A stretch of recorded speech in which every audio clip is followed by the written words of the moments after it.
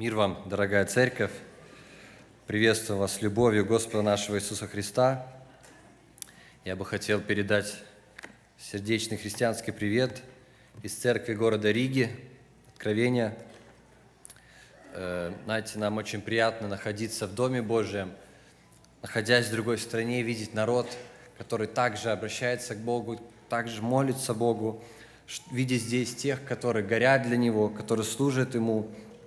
И еще очень приятно, что куда бы мы ни приехали, везде нас окружают братья, сестры, возлюбленные. И Он нас сделал родными, Он нас сделал друзьями, дал нам новое имя, нас зовут христиане. И знаете, я бы хотел сегодня вкратце порассуждать на такую тему, как раз о христианах. И тема моей проповеди я назвал «Добрый христианин». И вначале я бы хотел прочитать нам всем знакомое место Писания. Я думаю, мы его все знаем, мы его часто читали, читаем. И знаем все наизусть, но я бы хотел напомнить, немножко порассуждать о нем. Это от Луки, 10 глава, с 25 стиха. «И вот один законник встал и, искушая его, сказал, «Учитель, что мне делать, чтобы наследовать жизнь вечную?» Он же сказал ему, в законе что написано? Как читаешь? Он сказал в ответ, возлюби Господа Бога твоего всем сердцем твоим, всей душою твоей, всей крепостью твоей, всем разумением твоим, и ближнего твоего, как самого себя. Иисус сказал ему, правильно ты отвечал, так поступай, и будешь жить. Но он, желая оправдать себя, сказал Иисусу, кто мой ближний? На это сказал Иисус, некоторый человек шел из Иерусалима в Иерихон и попался разбойникам, которые сняли с него одежду, изранили его и ушли, оставив его, его едва живым. По случаю один священник шел той дорогою и, увидев его, прошел мимо. Также и левит, быв на том месте, подошел, посмотрел и прошел мимо. Самарянин же некто, проезжая, нашел на него – и, увидев его, жалился. Подойдя, перевязал ему раны, возливая масло и вино, и, посадив его на своего осла, привез его в гостиницу и позаботился о нем. А на другой день, отъезжая, вынул два динария, дал содержателю гостиницы и сказал ему, «Подзаботься о нем. Если сдержишь что более, я, когда возвращусь, отдам тебе». Кто из этих троих, думаешь, ты был ближний попавшимся разбойником?» Он сказал, оказавший ему милость. Тогда Иисус сказал ему, иди и ты поступай так же. Знакомая история, знакомая картина. Христос, Он очень интересно, такие, может быть, простые вещи, понятные нам, но порой в то же самое время непонятные, Он объяснял историями, Он объяснял притчами, и когда ты читаешь притчу, ты уже конкретно понимаешь, о чем идет речь. Но я бы хотел перевести эту историю в наши с вами дни. Знаете, мы когда читаем там самарянин, священник, левит, это как-то так проходит, может быть, мимо нас, нас не касается. И порой мы читаем эту историю как историю, и, как бы, ну, и все, прочитали, и думаем, да, это было когда-то, это было для них актуально. Но я бы хотел предложить нам проиллюстрировать эту историю в наши дни. Мы знаем, что этот человек шел, он был из народа Израилева – можем предположить похожую ситуацию, нарисовать иллюстрацию, что представим, что ехал в церковь, может быть, он ехал в церковь по пути утром, и не обязательно, что на него напали разбойники, но предположим, что вот такая же ситуация, человек ехал, и у него просто лопнуло колесо. Он едет на служение, но следом через какое-то время по этой же дороге едет священник. И знаете, священник, мы видим, читаем здесь, он написано «прошел мимо». Я думаю, он заметил сто процентов этого, кого сломано колесо, но у него мысли какие были? Я священник, я должен быть заранее в Доме Божьем, я, как я это я опоздаю, как это собрание начнется без меня. То есть он себя снимает ответственность, он идет в Дом Божий, его ждут жертвы, его ждут служение Божие, которое важное, а тут что колесо лопнутое, разберется сам, едет дальше. Следом идет или едет левит, важный, возможно, даже главный из левитов, регент, и он думает точно так же, как это я могу сейчас вот заниматься вот этим. Я еду на дело Божие, я иду помогать, я иду в храм, я буду петь, это важно, это нужно. Следом идет самарянин. Едет мирской человек, который не знает даже, не знает Бога, он не едет в церковь, но он останавливается, помогает. И не просто помогает, а прилагает какое-то определенное усердие, тратит финансово. И знаете, я бы хотел, чтобы мы вместе с вами, услышав, может быть, такой пример, порассуждали. Моя как бы тема – это «добрый христианин». И я таких три момента в жизни христиан хотел подчеркнуть, чтобы мы порассуждать над ними. Первое – это момент, это доброта, которая как христианина должна быть, это доброта в народе Божьем. Да? Знаете, мы порою, являясь христианами, мы забываем о том, что мы не просто должны называться, а быть детьми Божьими. И те принципы, которые оставил Господь, да, есть важное, есть важное служение, есть важное, что ты должен трудиться для Него, но при всем при этом ты должен оставаться добрым человеком, добрым христианином. Я бы хотел задать вопрос себе, каждому из вас, знаете, мы в последнее время живем в такое время, что все, вот я здесь приехал, такое слово слышу часто, все очень бизи, да, все очень заняты, у всех много распланированная неделя, у всех много встреч, много всего, много запланированного. Но вот во всей этой суете я бы хотел задать вопрос, сейчас порассуждаем о народе Божьем.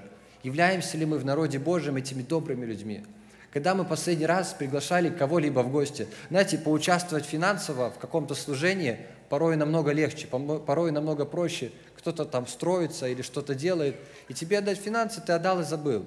А когда ты последний раз прилагал настоящее усердие, как христианин, когда ты последний раз звал кого-то в гости, пригласить в ресторан тоже легко, но кого-то позвать домой, то ты должен убраться, должен потратить время, сходить в магазин, сготовить и позвать кого-то к себе, то есть оказать, приложить старания – знаете, порою, к сожалению, мы так осуети, осу, а, приходит суета, и христиане, они перестают быть этими добрыми людьми, они начинают в народе Божьем жить каждый для себя. И порой вот эту иллюстрацию, которую я привел, такое есть. Едут на собрание, все боятся опоздать и даже не замечают того, у кого колесо лопнуло, не замечают того ближнего, которому нужно оказать помощь. Это один момент. Это серьезный момент, это важный момент. Мы должны помнить о том, что, знаете, людям вокруг в церкви особенно, в церкви, особенно в миру, где э, в миру вообще окружающим, им наша святость не нужна, им нужна наша доброта. Знаете, мы никогда не приобретем людей тем, что я вот такой святой, я не должен опоздать, я должен быть вовремя, а мимо какой-то нужды, мимо какой-то реальной помощи ты проходишь мимо. И знаете, Господь, Он очень сильно в этом месте обращает внимание на то, что человек задает вопрос, кажется, я когда вот читал, такие мысли приходят, что ничего вообще связанного нет с его вопросом и ответом Иисуса Христа. Помним, если начало прочитаем, что он говорит, что мне делать, чтобы наследовать жизнь вечную.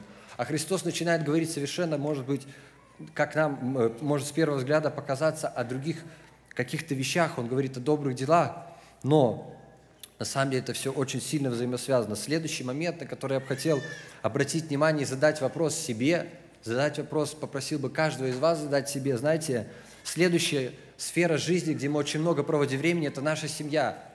Мы являемся многие христианами, мы являемся многие святыми людьми, но я бы хотел, чтобы мы задали вопрос себе, а может быть пришли домой, задали вопрос детям, являемся ли мы добрыми, добрыми отцами, добрыми матерями, или мы такие святые, мы пришли, мы дали всем перцу, мы пришли, отец пришел, гроза пришла, знаете, дети попрятались. Или когда отец приходит, его встречают с объятиями, и пришел, и принес свет. Знаете, как солнце взошло, пришло тепло. Или этого нет уже, или это утеряно.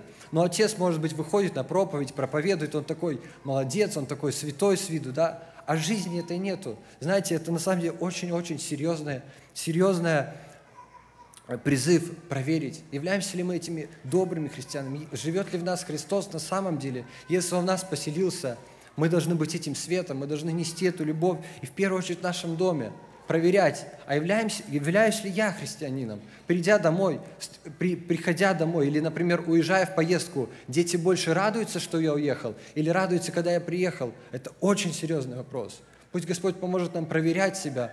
Может быть, уже мы давно, придя домой, приходит, как гроза пришла, знаете, как буря, и все только радуются и ждут, когда папа уйдет на работу. Или ждут, когда мама уже куда-то уедет, потому что все время ворчит, все время недовольна чем-то. И знаете, это очень серьезно. И Господь, Он обращает в этом, в этом стихе, если ты хочешь наследовать жизнь вечную, что пользы, что ты будешь святым, просто вот так вот святость для чего-то. Нет, Он призывает помимо этого каким-то действиям. Мы должны быть святыми. Он говорит, будьте святы, потому что я свят. Но помимо святости, да, есть какие-то практическая жизнь. И вот в практической жизни, знаете, к сожалению, к сожалению, часто так бывает, что мы хромаем. Мы вроде бы в каких-то в определенных аспектах жизни мы успешные, мы как христиане, ты не придерешься ни к чему, ты всегда вовремя, ты такой вот хороший, и с виду ты улыбаешься всем. А вот этой искренности, искренней доброты, ее, может быть, уже давно нету.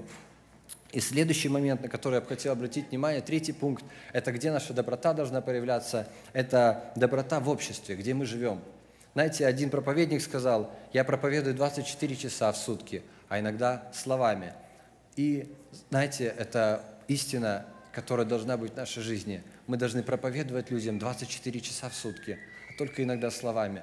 Наши слова они могут говорить об одном, а дела говорить о другом. Но когда ты делом доказываешь, когда ты делом оказываешь пример, находясь на работе, находясь на учебе, находясь в каком-то, каком-либо месте, и когда ты реально являешься этим добротой, когда ты, знаете, пришел в какой-то, вот есть, есть такие люди, я знаю, у каждого есть такие примеры, когда вот заходит человек, и с ним вот он пришел, он сказал мир вам, и он принес этот мир, он принес тепло, он принес доброту, и он людей вокруг, он собирает, он людей вокруг, он приносит мир, с ним не приходят какие-то сплетни, с ним не приходят какие-то, знаете, осуждения, но когда он приходит, приходит мир, приходит доброта, и этой добротой ее можно почувствовать даже, она, знаете, веет в воздухе. И пусть мы э, помним об этом, что самая лучшая проповедь – это не то, когда мы много скажем, а то, когда мы покажем. И я прочитаю Иоанна, э, с 13 главы, с 3-4 стиха. Христос говорит, «Заповедь новую даю вам, да любите друг друга, как я возлюбил вас, так и вы да любите друг друга. Потому узнают все, что вы мои ученики, если будете иметь любовь между собою».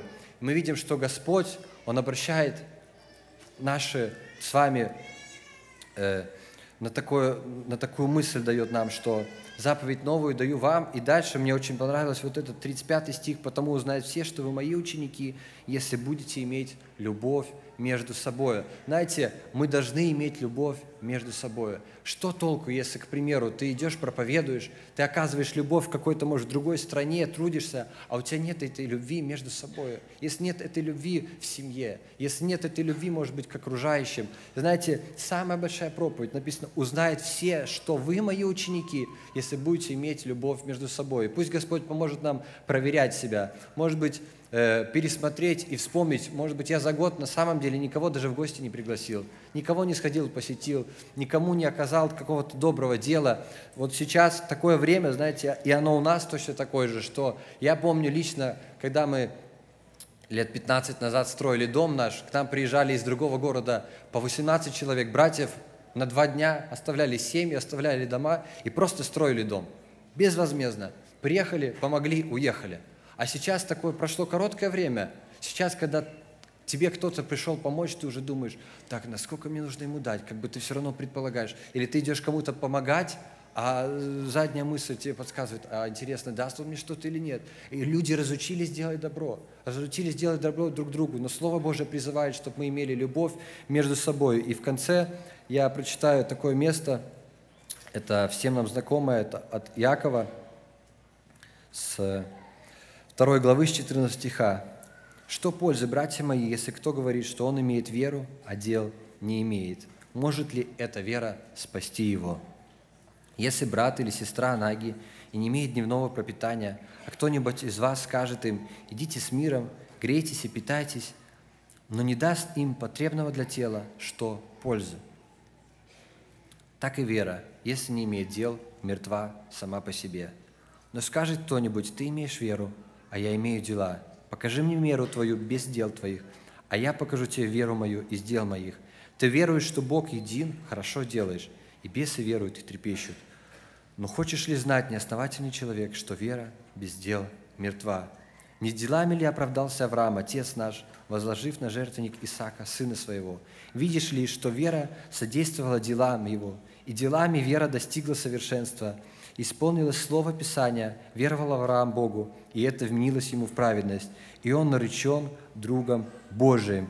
Видите ли, что человек оправдывается делами, а не верует только. Подобно Ираав блудница, не делами ли оправдалась, приняв соглядатаев и отпустив их другим путем? Ибо как тело без духа мертво, так и вера без дел мертва.